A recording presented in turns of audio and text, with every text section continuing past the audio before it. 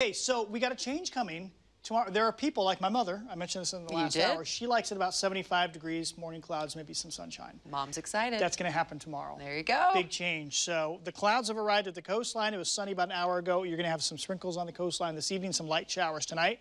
Here in the valleys, the west wind is and northwest wind is picking up, and uh, it's cooled off to 81 up at our Maryhill Tasting Room and Bistro camera. Cooled off a little earlier than normal today. In fact, you can see a few white caps out there on the river. The northwest wind gusting to 17 there, and you see the flags moving around. Well, they were whipping around a bit more just before we went on air, but to 82 degrees here in the city. Uh, we made it into the mid 80s. Good news, I do not see significant fire smoke throughout most of the region through the next two days. Now, that said, any one fire, like there's a pretty good fire that's developed uh, north of Willamette Pass, that's sending a smoke plume over Bend. But other than under those specific smoke plumes, uh, we think things will be kind of dying down for a couple days as uh, temperatures cool off. The last of the thunderstorms moving through far eastern Oregon this evening, Nick. Yeah, just in the north end of the Baker Valley, headed out towards the uh, Wallowa Mountains. Something trying to develop there just north of Cove in uh, Union County, and there could be a thunderstorm in those areas until sunset, I think. So today we were 86, and that's about the same as yesterday. And tomorrow we're going to drop about 8 degrees. So tomorrow, much cooler, 70s. Early clouds could produce sprinkles, just a small chance. I bet you most of us don't get sprinkles, but uh, it's going to be gray when you wake up and cool tomorrow morning, slow to warm up. But then Friday is like today, back to warmer and all sunny Friday. I think we'll be in the 80s. Here's the bad news. I think our third heat wave is on the way here.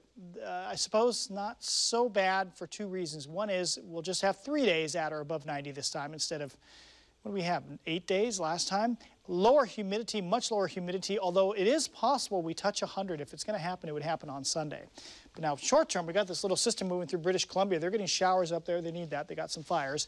The tail end of this thing is what drags through tonight. That's pulling in all that ocean air. And that's why I think when we wake up tomorrow morning, it's going to be really gray. Take a look at this 3 a.m., some showers on the coast. Uh, tomorrow, when we wake up, very gray in uh, western Oregon and southwest Washington.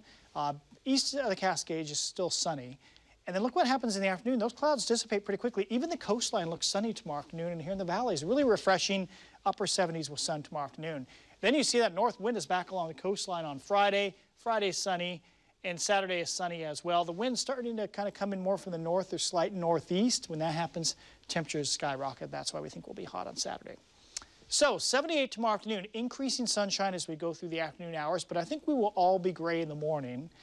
Kind of refreshing, I think, uh, 78. Enjoy that because then we jump into the mid 80s Friday, mid 90s on Saturday. It'll turn hot Saturday afternoon. I think Sunday is going to be a scorcher. I put 100. I mean, it might be 98, but you know, what's a few degrees here?